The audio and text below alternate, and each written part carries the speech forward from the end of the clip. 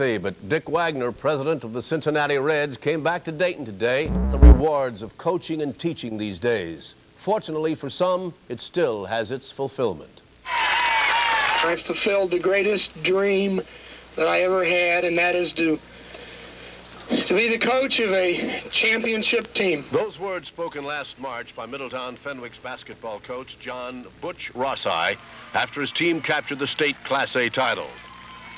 Last night at Fenwick High School, the Booster Club took their turn by hosting Butch as they staged a roast in his honor of 25 years at the school as athletic director and coach and teacher. The event drew Fenwick supporters, politicians, Miami Valley coaches, the MC of the roast, the radio voice of the Cincinnati Reds, Joe Nuxhall. The event belonged to Rossi, and he expressed his gratitude.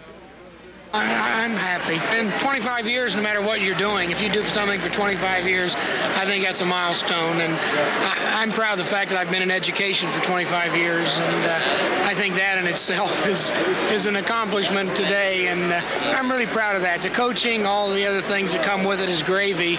You know, your real job is, is to be a teacher, and, and, and I'm proud of the fact that I've been teaching for 25 years.